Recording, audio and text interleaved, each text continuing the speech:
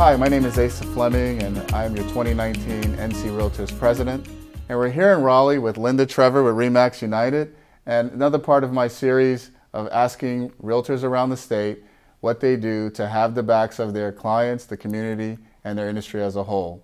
As you know, my slogan this year is NC Realtors has your back. Thank you for being with us here, Linda. My pleasure. Right. Tell us a little bit about your involvement at a national level. You are a FPC, am I correct? I am. So, FPC, Federal Political Coordinator. Sure. I was fortunate to be asked um, nearly six years ago in, with um, George Holding, Congressman sure. George Holding. Sure.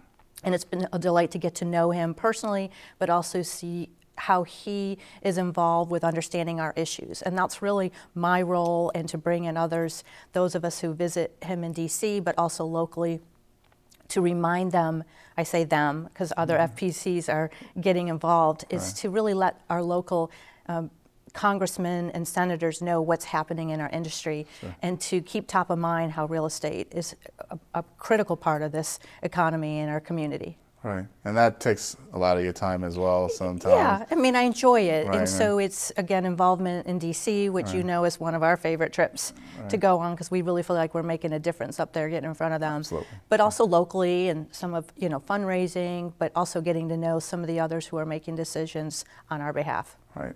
And so you are a past president here at the Raleigh Association. I You've am. really been involved the, on the local level. Could you tell us a little bit about how you're involved? As far as the community goes, there's been different endeavors, different volunteering that I naturally enjoy doing with um, whether it's through some of the fitness part and involving with fundraising for running races or so forth. Another thing that you've seen me do over the years that started um, kind of small where as a board or through friends who we travel a lot through our association involvement is to collect um, hotel goodies or toiletries. Right. And as a result, we've been able to collect oh, who, who, knows, thousands of pieces at this point, and then oh. give that back to local charities, right. women's shelter, different um, events that we can give back to. And, and so that's been neat to see that evolve where people just naturally bring me bags of um, hotels, um, sundries, and again, toiletries that we can give away and to help others. Yeah, that's that's always something you see people bringing their toiletry bags. I didn't understand at first, but I, I, know it's a good cause that yeah. you're doing that for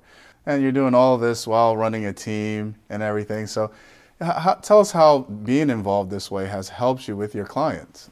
Great question. So, I would say as I've grown um, through education and speakers and all the different involvement that the state association offers or locally and our, again our community involvement, that has just inspired me to be a leader and help others come about. Again, I never would expected to have been running my own team. Mm we are now a team of 10, which wow. is even, awesome. uh, you know, amazing to even say that. Um, I love my teammates. I encourage them to get involved as well.